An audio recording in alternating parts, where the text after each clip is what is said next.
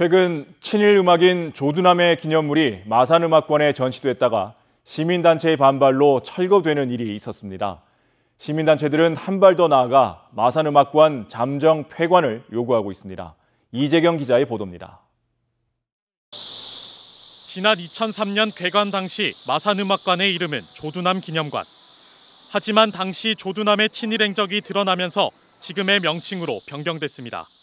그러다가 지난 5월 창원시가 마산음악관을 리모델링하면서 친일 음악인 조두남의 기념물을 전시하자 다시 한번 친일 논란이 일었습니다.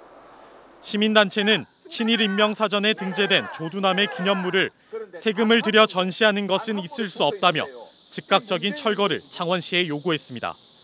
시민단체의 지적에 창원시는 마산음악관에 전시했던 밀랍 인형과 흉상 등 조두남 관련 기념물을 이곳 창고로 모두 옮겼습니다. 또 운영위원회가 대부분 조두남을 옹호하는 지역 음악인들로 꾸려져 있어 논란이 반복되고 있다는 지적도 나왔습니다. 평소에 이제 조두남 선생을 두둔하는 입장에 옹호하는 입장에 있는 분들이 그게 다수 들어가 있더라고요. 리모델링을 할 때 이런 문제가 생길 수밖에 없겠구나.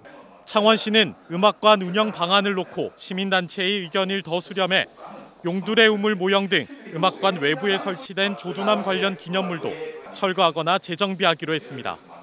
사회단체에서 어, 말씀하시는 여러 가지 의견들을 적극적으로 존중하면서 시의회의 의견도 수렴하고 또 다양한 계층의 의견을 수렴해서 마산 음악관이 시민들로부터 사랑받는 공간이 되도록 하지만 시민단체에서는 조두남을 비롯해 반야월 등 친일 음악인들의 흔적이 여전히 남아있다는 이유로 마산음악관 잠정 폐관을 요구하고 나서 음악관 폐관 여부가 주목되고 있습니다. MBC 뉴스 이재경입니다.